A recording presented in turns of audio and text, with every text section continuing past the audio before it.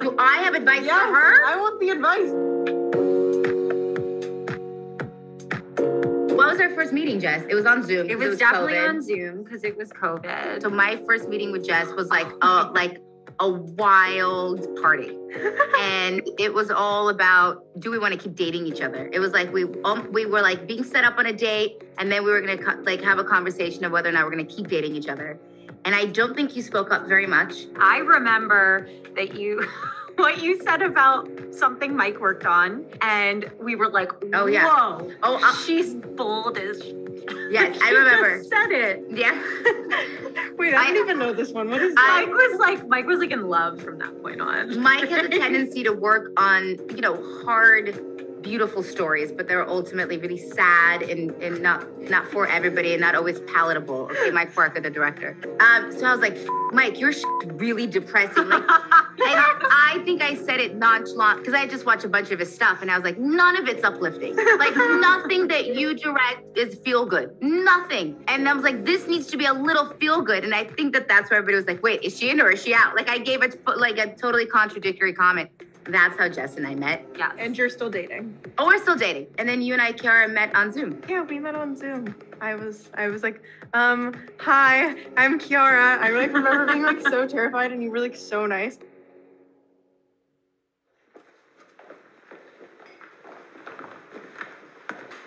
The one thing they all had that I didn't pedigree.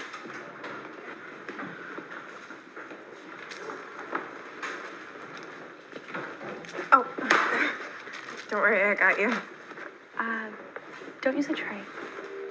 to me right away saw Chiara, saw there was such a vulnerability about her that was so beautiful to me and like so necessary for this character. But also, you could tell there was spunk there, which we needed this character very much to have. And that like she was someone who had fun with life. And that was like another quality we wanted to bring to Tiffany's story, she's in kind of the prime of her life in high school. She should be having fun. She should be allowed to be doing all these things and seeing what befalls her and how it kind of affects her spirit a little bit, dampens her spirit. Well, I think that we talked a little bit about it before we started filming over Zoom, and we were just talking about kind of like little bits of like mannerisms, and like I did a little bit of vocal coaching and stuff like that to kind of like connect the gap. But the reality is that you're trying to forget everything about me as an adult and kind of, you know, get rid of that part of herself. So I think there's a huge transformation that happens from my perspective. But, you know, there's definitely like a through line if we're the same person. we are the same We are the same person. yeah, exactly. The situation has been obfuscated. There was no obfuscation, Headmaster Mayor. She said no. Is, is that true? Did you say no? I, don't know. Well, I think that, you know, we've talked a lot about how dark the content is, obviously, and I think that that's super valid. And I think that it's horrifying. The scenes, the subject matter, and the trauma that Ani is experiencing over the course of the film is, I mean, it's terrible. But I was so lucky that I was in such a safe space and a safe environment. And at that point, I felt like I developed a relationship with Jessica and with Mike and Jean and Mila. And I felt like I had people to go to and people to talk to. And I felt like when I was there, and even with the other actors that I was working with, we all felt so safe and so comfortable with one another. So as it was horrifying, I felt like I was in probably the best hands that I could have been, you know, when we were actually filming the scene. I think it's a really, really important story to tell, and I'm really happy that we did it the way that we did it. Ani, don't let Dean run you out of here. Think about all the women you're gonna help by telling your story. You're standing up for them too. All the women will be fine. I think a lot. I think a lot has shifted um, in in how I approached writing that character, both because there was growth that happened in my real life that I think kind of came through in my writing. Also, because film is such a collaborative medium in a way that book writing is not. So, you know, you assemble this team, and thankfully, everyone on it I completely trust and they've been doing this for a long time and they have really good thoughts and ideas. So when someone comes to you and says, This isn't working, or I think we should try this, I'm game to do it because I can see that these people have a great record for storytelling. And so I think Ani is much more like a shared character now. Like she's not just my own anymore. We all kind of had a part in creating her. That's Mila. Don't put don't.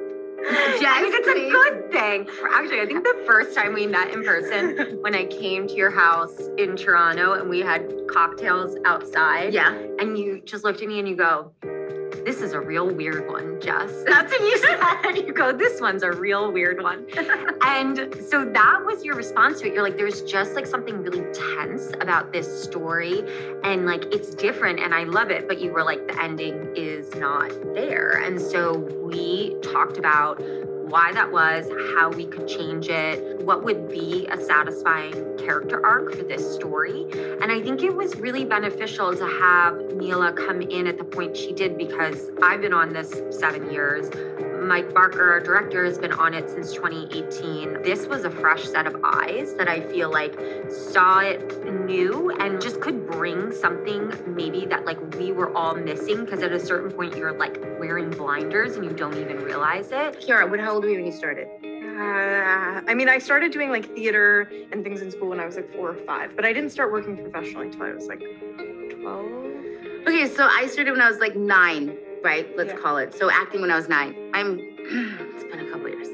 So, but when I He's 23 now. That's right, Karen. That's right. That's right. I didn't have the pressure of social media. Social media is the end of a lot of things in our industry, mystery being one of them, privacy being another. Eh, There's so many things that went by the wayside that, like, you know, the, there's the good and the bad. And I would say this was the bad. I, at 17, 18, 19, 20, got to go out. I got to live life. I got to be a teenager in, in privacy. I had anonymity. I didn't have a responsibility to to followers, right? Like so to speak. It was right at the very tail end and the beginning of like the downfall of everything. So for me to be Chiara, I don't know how they do it. I will tell you, full disclosure, when when younger actresses are cast nowadays, they do look at their social media. They do. And some people will not acknowledge it, but they 100% do. They, they look at your content. They look at what kind of content. They look at how many followers. They look at a lot of things. God forbid at 15, I was responsible for projecting a version of myself. Who knows what it would be? Because when I was 15, I was different than that from 16 to 17. You're constantly figuring yourself out. Now we're expecting these young actors to be in a constant state of perfection or else. And it's a really unfair standard and an, an, an unfair precedent that we're setting forth. So I commend her for being classy and amazing and staying true to who she is and doing all of the things that I, at much older of an age, don't even want to do. I think our careers are very different because I was allowed to be young and she's not. That's the truth. She at 16 still can't be a 16 year old to an extent, but there's always a, a, a version of life, I assume, that's like, what if that person posts a photo of me doing this? Like, that didn't exist when we were 16. You were allowed to be 16 and allowed to make whatever Make mistakes. mistakes Yeah. and be an idiot and all of these things. Hey, Mom. This is it. This is the beginning. Bye.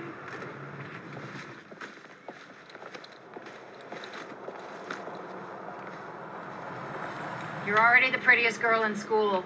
Mom, shh. Do I have advice Yes, for her? I want the advice. Give me the advice. I'm telling you, I'm not. I'm so. I like acting advice. I'll talk to you anytime. Career picking projects. I got you, girl.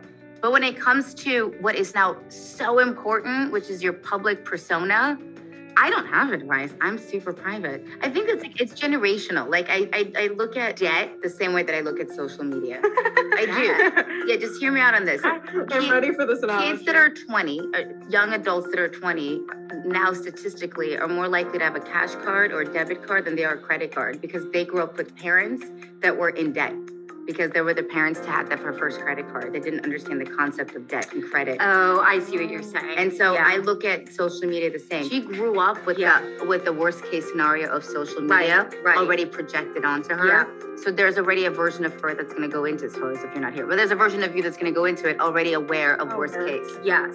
Yeah, So yeah, that's yeah. why I No, I get what you're saying. Chiara's yeah. like in the beginning of the betterment. Yeah. Yeah. When I sat down to write this essay, the goal was to avenge my reputation. maybe stick it to the people who hurt me. But it's become so much more than that. So much more than me.